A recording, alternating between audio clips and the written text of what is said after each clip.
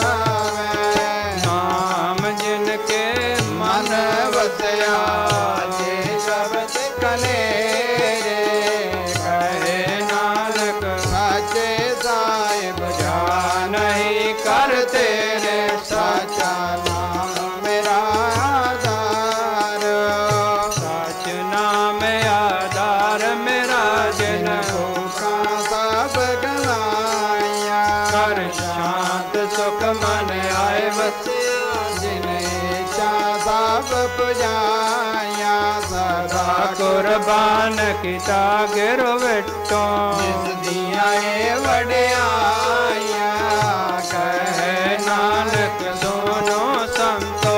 ਸਬਦ ਤਰੋ ਪਿਆਰੋ ਮੇਰਾ ਆਦਾਨ ਵਾਜੇ। ਪੰਜ ਜਬਦ ਤਕਾਰ ਸਪਾਗੇ ਹਰ ਸਬਾਗੇ